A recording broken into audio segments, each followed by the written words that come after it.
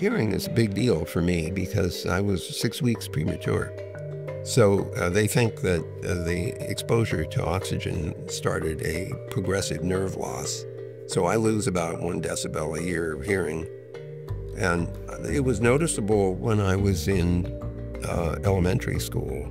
People thought I was not paying attention, then they realized that it was because I wasn't hearing. But it wasn't until I was about 13 that we finally decided I needed hearing aids. My friends said that they noticed that when I had to change the battery, I would start talking so that they couldn't say anything while I was changing the battery so I wouldn't miss anything. So I've become very comfortable with these things, and, and I encourage other people to be upfront about um, things that they might need help with. It was a consequence of my hearing impairment and my hearing aids that led to my meeting my wife in 1965 because she was almost totally deaf. And uh, the hearing aid dealer called me and said, You need to show up and meet this woman. So uh, I drove down to uh, Wilshire Boulevard, where our hearing aid dealer was. And I got there around noon or so, and our hearing aid dealer, Ted Duduziak, introduced us and then closed the shop and left us standing out on Wilshire Boulevard on Miracle Mile. And she's really cute. And I'm trying to figure out how I keep this going. So I, I said, Would you like lunch? So she agreed to have lunch. And uh, she said, uh, Would you like to see my favorite painting at the LA County Art Museum, which is down the street the other way? Yes, you know, anything to keep this going. So she stands me in front of a wall sized Kandinsky painting. And I'm staring at this thing and stupidly said out loud, This looks like a floating green hamburger. Fortunately, that didn't kill our relationship, and we got married about nine months later in September of 1966. I learned from her um, a kind of determination to persist and survive and succeed in spite of everything. My day would be pretty boring if I didn't have my hearing aids, so it's really important I carry spares and batteries and everything else. In fact, one of the advantages of a three-piece suit is that I can keep the batteries right here in my little vest pocket. Very handy, these little three-piece suits. I tend not to wear anything other than three-piece suits, with a few exceptions, and I know I shock everyone when I don't show up in a three-piece suit. I think it shows respect to show up well-dressed. But it also, uh, for me, reminds me I'm at work. So even when I work at home, I get dressed in my three-piece suit. Intellectual pursuits were very much a part of my life you know, growing up. I would place age 10, fifth grade, as sort of a transformative period for me personally. Uh, I got a chemistry set. I got a book called The Boy Scientist with a bunch of experiments in it. Got very excited about word problems. It was very cool. It was like a little Agatha Christie uh, mystery, and I have to figure out what's X. And the neat thing is you take this um, word description and transform it into a symbolic representation of what the word description meant, and then do a bunch of fairly standardized computations and extract X from the expression. I thought that was really cool. So that's the beginning of my interest in science and technology innovation. My father was Phi Beta Kappa. He was a very successful high school and college graduate. And I felt like I, a little bit like I was either competing with his record or at least had to meet it if I could, or beat it even. So I was encouraged to uh, excel academically. And I enjoyed all that stuff. I liked science and engineering and technology and literature. Uh, I read a lot. The house was full of books. Uh, my mother loved classical music, so I grew up listening to classical music on the radio, trying to guess the piece and the author or the composer before the announcer said what it was. A lot of my thinking and behavior is about connection with other people. This notion of co-invention, you know, two people in front of the whiteboard having a big debate, is very much a connection kind of thing. So connecting with other people is very important to me. Steve Crocker has had an enormous impact on me because we became friends around 1959 when I we were both in high school together. We found ourselves interested in, in math, particularly, and, and uh, generally technical stuff. There was no math club, uh, which I thought was a, a serious defect, so we went and started a math club. Vint and I became pretty good friends uh, right away, and we'd hang out together on the weekends and, uh, and other times. He got permission from uh, one of the uh, faculty members at UCLA to use the computers there. So we would go there in the evening or on the weekends to use a Bendix G15 paper tape fed computer to do transcendental computations. This is spring 1960, and I was fooling around with a mathematical equation that you can't solve algebraically. It doesn't have a, a, a, natural solution like a quadratic equation. And I thought, well, we could use computer to explore the equation. We could sort of map it out, sort of uh, plug in values and then have uh, the answers come out. But we drove over and we get to the building and the building is locked. So Steve was preparing to just go home and, and I noticed that on the second floor the window was open or unlocked. Next thing I know, he's on my shoulders and he's climbing in. He's a lot more limber than I am. He still is, but he was even then. Uh, so he climbs through the uh, window and he goes around and he opens up the industrial door, you know, push bar.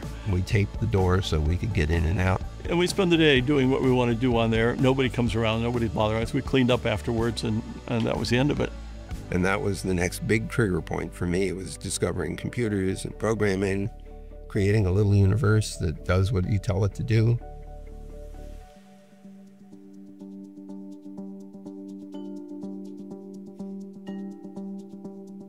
The wine cellar actually gets started as a consequence of my going to Germany uh, at the age of 19 uh, when I'm still an undergraduate at Stanford.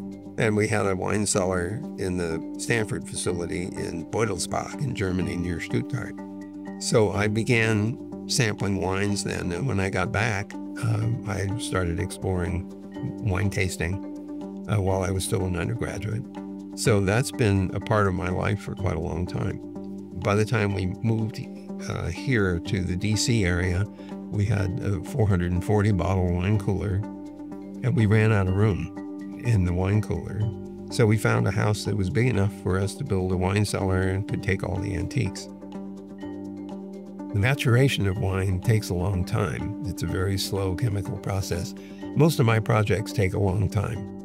And I've, um, you know, internet continues as a project really for over 50 years. I have a lot of patience and persistence when it comes to projects. Uh, they don't have to happen overnight necessarily, because sometimes things just take time.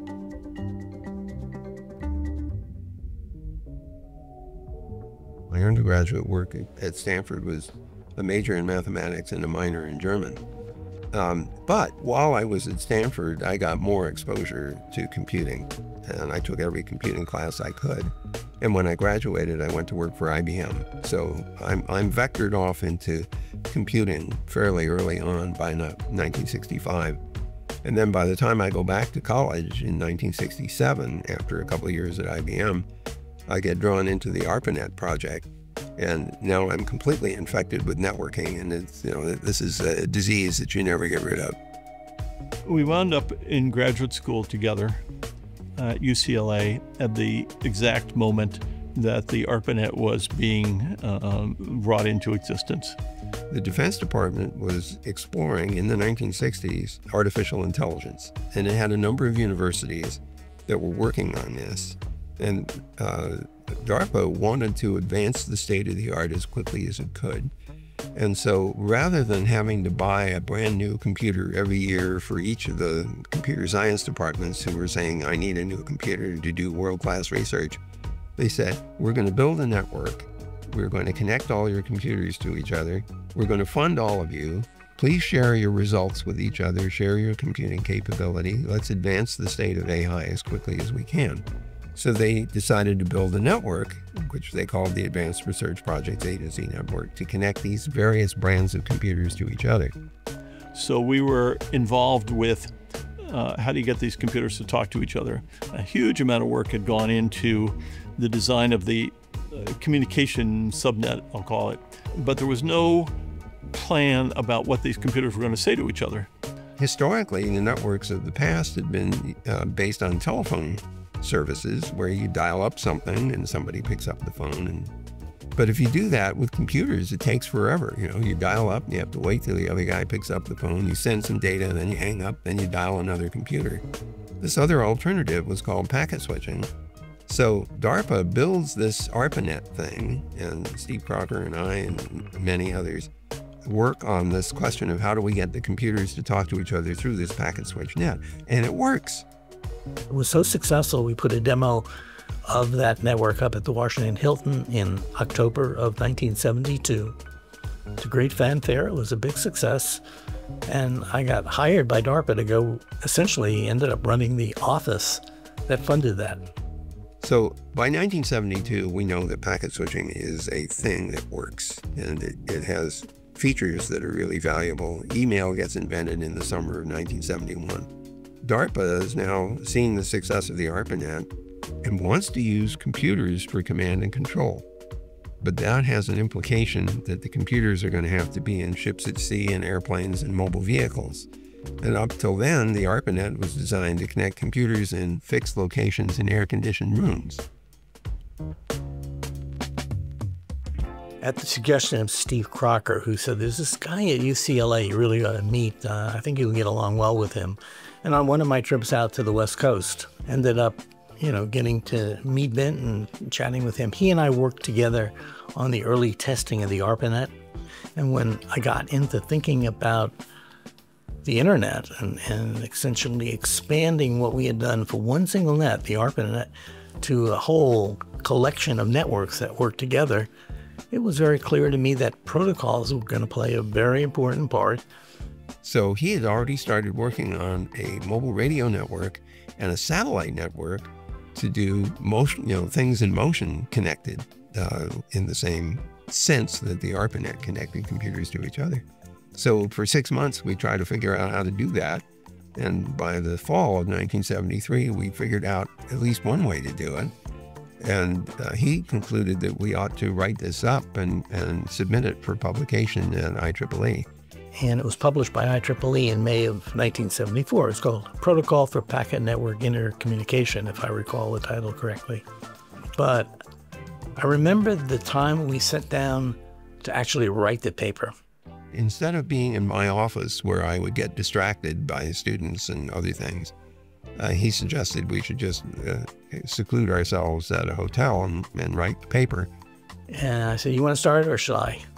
He said, No, I'll, I'll start. So I went out to pay for the conference room. I still have the receipt, the $16 we paid to rent that conference room that one day. I came back about 10 or 15 minutes later after paying for the room. I said, How you doing? He hadn't written a single word, not one. It wasn't because his mind was a blank, he just didn't know how to get started. I don't know where to start because there's so many different things that you have to know in order to so he says, well, let me start. So he writes, you know, five, six, seven pages. And I finally get it. I say, okay, I can do the rest. And I kept writing. So the two of us produced this manuscript, which I took to my secretary at Stanford. And I said, please type this up, which she did. Then she said, uh, what should I do with the uh, manuscript? And I said, well, you can throw that away because your type version is easier to read. The historians have never forgiven me for that. So, you know, this was launched a now 50 year career for me. People often ask, you know, when did you know this was going to be a big thing? By 1977, I wanted very much to demonstrate that the technology we developed actually worked. We had three networks at the time the Packet Radio Network for mobile communication, ground mobile and packet satellite communication for ships at sea, ship to ship, and ship to shore, and then the original ARPANET. And so I wanted a demonstration that all three of those networks would interwork with each other using the TCP/IP protocols.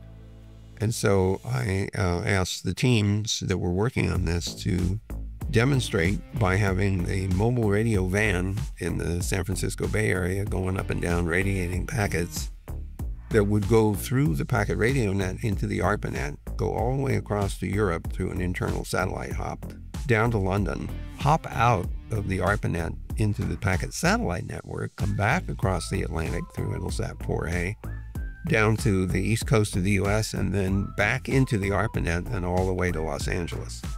Now, the packet radio vans in San Francisco, Los Angeles is 400 miles to the south. The packets went 88,000 miles because they went through two synchronous satellite hops on their way to Europe and back. And it worked. And so that was a from my point of view as a program manager, it was a big deal because it basically I could pound my chest and say, you know what, this stuff actually works, and here's the demo. So that's 1977, November 22nd. The next big milestone is January 1983 when everybody had to switch over to running TCP IP on all the computers on all the networks we supported. And then I'm thinking, how is the general public and the private sector going to get access to it? Because in 1988, the only people who could reach it were people with research contracts with ARPA or Department of Energy or NASA or NSF uh, or military. So I asked permission from the Federal Networking Council, which was responsible for policy, to connect the MCI mail system, which is a commercial system, to the internet as an experiment and they let me do it. So uh, by 89, we announced that we had a gateway between MCI Mail and the internet. And as soon as we made that announcement, the other email service providers, which were closed systems uh, like uh, Telemail, for instance, or OnTyme, said, well, wait a minute, you know, we want to have access to the internet too. And they got permission to connect. And as soon as they did that, they discovered that their little closed networks Suddenly, we're interconnected with all the other closed networks, and all their customers could talk to their competitors' customers through the internet. I was very happy about that. So we're almost off to the races. This is um, 1989.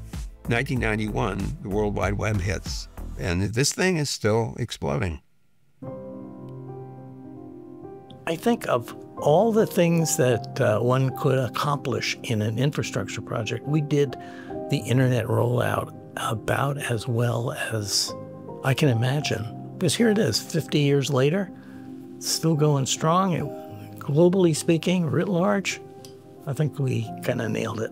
It has enabled a great deal to happen. Many people have benefited from the existence of this thing, whether it's finding information they're looking for, or getting a training video on YouTube, or doing research, or staying in touch with friends scattered all around the world. It really exceeded all expectations, I think, or at least uh, met the wildest expectations one could ever have. The thing that attracted me for sure, and, and Vint, and a substantial number of other people was the imagination of what great things could be done that uh, would seem like pure science fiction. So we are now at the point where we have a standardized interplanetary communication system design. It's being implemented. It'll be part of the Artemis mission return to the moon, and it almost certainly will have to be part of the Mars missions that come in the future. So, I mean, this is, this is not science fiction anymore. It's engineering. But it's exciting because that's what engineering is all about. It's translating science fiction into reality. I like being in a place where nobody has been before because almost anything you do is bound to be interesting. The most important lesson that I ever got was from a Nobel Prize winner, Josh Lederberg. I was um, explaining to Josh uh, what digital libraries could be. And I'd covered the whiteboard with a bunch of stuff. I got all done, and Josh looked at me and he said, Vint, do something. That's the point. Do something. How many times have you heard people say, Oh, I had that idea 20 years ago? The question is, did you do anything about it? That's what invention is all about. Do something.